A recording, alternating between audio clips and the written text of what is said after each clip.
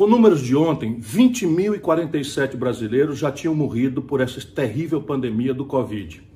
390 mil brasileiros contaminados estão aí desesperados por falta de leito de UTI, por falta de teste, por falta de respiradores.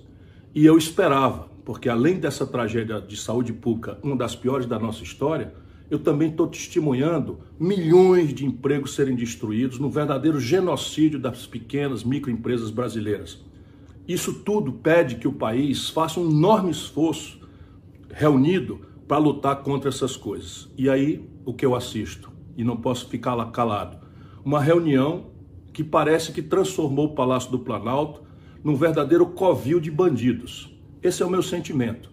Quem assistiu essa reunião, como eu agora assisti na televisão, fica chocado com o nível de vulgaridade, de incompetência, de paranoia, de alucinação coletiva que o Jair Bolsonaro conseguiu levar para o poder no Brasil.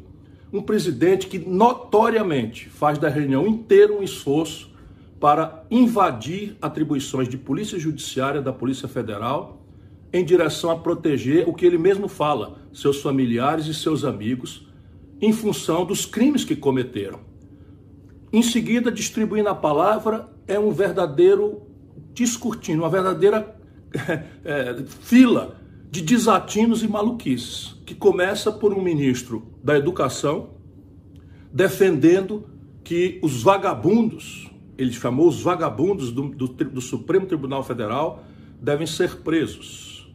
Isso é um cometimento de um crime muito grave de responsabilidade e o Bolsonaro riu e assentiu.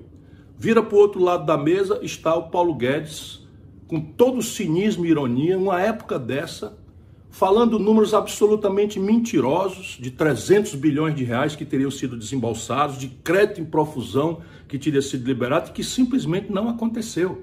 Até o presente momento, 30 bilhões foram liberados para pagar as 55 milhões de famílias que vão receber, que, a primeira, que receberam a primeira parcela da ajuda. Passa para essa bandida ministra do, do, do, da, das mulheres, da, dos direitos humanos, defendendo a prisão de governadores e prefeitos pelo crime de estarem fazendo aquilo que manda a Organização Mundial de Saúde, ou seja, estimulando o isolamento social e protegendo vidas.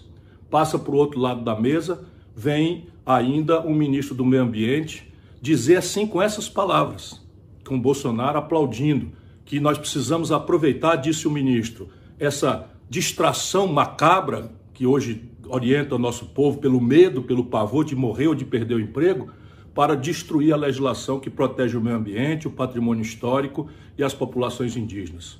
Gente querida, não dá para ficar calado diante disso. Nós estamos sendo governados por uma quadrilha de bandidos e essa quadrilha de bandidos precisa ser afastada do poder pelos caminhos da democracia.